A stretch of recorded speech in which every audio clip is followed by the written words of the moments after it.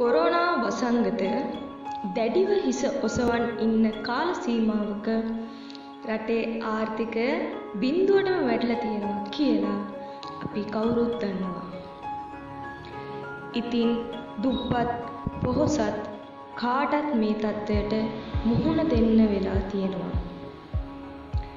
ඉතින් මුදල් අපහසුතා නැති කෙනෙක් නැති තරම්. එහෙම වෙලාවක කවුරුත් කාටවත් සල්ලි දෙන්න පෙළඹෙන්නේ නෑ. ඉතින් එහෙම වෙලාවක අපේ රටේ මහත්මයෙක් අපේ දුප්පත් ජනතාව අතරේ ඔහුගේ පෞද්ගලික ධනයෙන් කෝටි දෙකක මුදලක් ඒ කියන්නේ ලක්ෂ දෙසීයක මුදලක් ජනතාව අතර බෙදා දීලා තියෙනවා.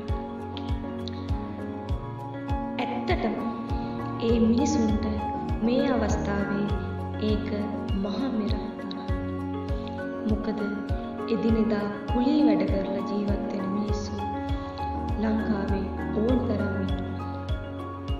එදා වේල කන්නේ කොහොමද කියලා හිතා ගන්න බැරි මිනිස්සුන්ට මේ වගේ අවස්ථාවක මේ වගේ දෙයක් කරපු එක ඊටාම පින් කටයුත්තක්.